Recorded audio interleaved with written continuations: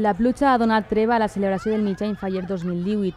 Els alcirenys han pogut gaudir per segon any consecutiu d'activitats i actes organitzats per l'Ajuntament d'Alcira, tant per a fallers com per a no fallers, dintre de les previsions de la gota freda.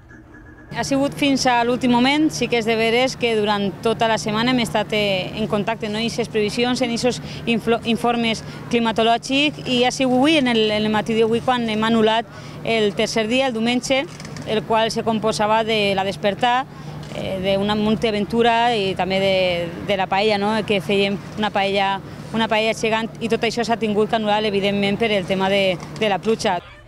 La intenció d'aquesta festa és la de traure la gent no fallera per a que poguera participar de la festa durant este passat cap de setmana.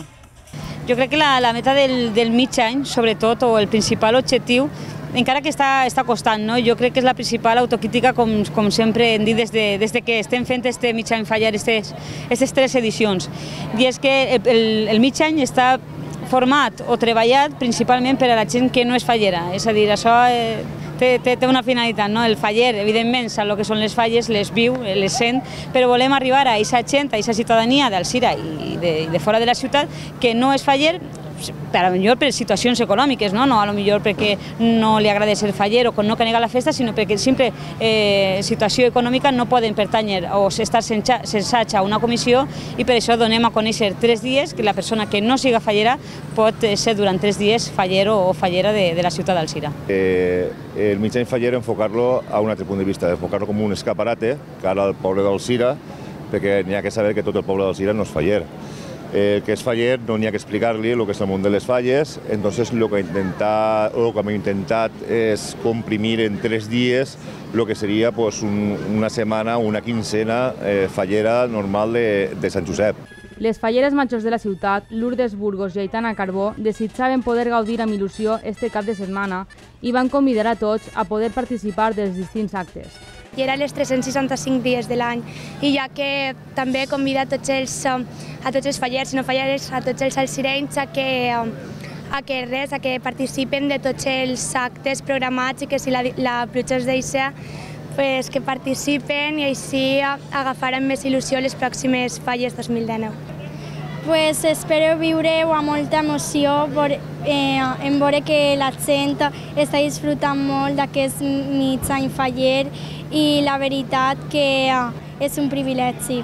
L'acceptació i participació ha superat els registres esperats. La veritat és que sí, els actes en presència s'han duplicat. Eh, per exemple, a pesar, en aquest cas, la climatologia, com dic, eh, un poquet al vers no? a, a l'acte de, al esdeveniment del sopar, sí que és de veres que per, aquesta circumstància ha sigut, ha, sigut un sopar molt, molt ràpid, però han estat contemplades unes 1.400 persones. Per tant, se pot dir que Alcira té ganes de, de mig any, que continuarem en aquesta quarta edició per al 2019. Durant el divendres i dissabte, els ciutadans, tant fallers com no fallers, van poder disfrutar de la planta d'una falla de l'artista faller Jordi Carrascosa.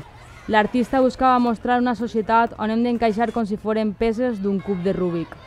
La falla l'hem basat en, eh, podríem dir, tota una societat que eh, és un drenatge que consta pues, en un cubo de Rubik i n'hi ha que eh, drenar i ses peces, no? i aquest cubo de Rubik, per a que tots encaixem en aquesta societat, tant com política, eh, interès, interès socials o, o sexualitat, tot un món mm, destinat a aquest tipus de, de coses que és un cubo de Rubik que estem tots mesclats i per a quadrar-los tots pues, es costen la vida. A més, es va realitzar la Fira Valenciana i la inauguració del Monument Faller també a la plaça Major de l'artista Jaume Espí, monument fe de bronze fos a la cera perduda és important, per a nosaltres és molt important. Ahir hem aplicat doncs, totes les tècniques que durant molt de temps hem estat treballant. Jo penso que si n'hi ha un poc el resum, ho estan totes eh, empastades, coordinades, interactuen entre si i la tècnica és una, és la mateixa, és fundició a l'alçada perduda, però crec que cada part de la peça hem gastat eh, recursos que en algun moment pues, t'han servit per a alguna cosa i així estan tots junts, no? I és un poc el, el, per a nosaltres el que, lo que és la peça.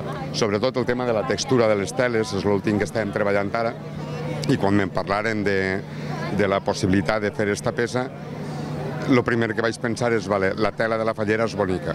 Finalment, el mitjà Infaller va comptar amb un passacarrer, una mascleta el dissabte i un gran sopar per a tots. Pues hemos estado en la falla y hemos venido aquí a, la plaza a, ce- a cenar con, lo- con los compañeros, las amigas. Y bien, muy bien. Aquí a, reunir- a reunirnos todos.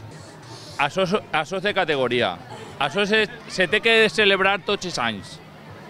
Perquè això és per tots els fallers i, i, i falleres, i falleres. Eh, Molt bé, molt bé. Això fa falta tots els anys, o cada tres mesos.